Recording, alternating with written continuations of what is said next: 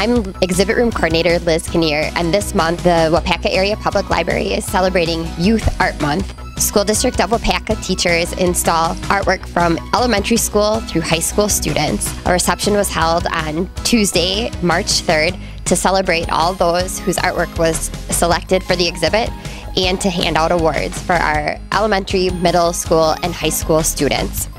This year's Best in Show was awarded to Kendall Eskildson.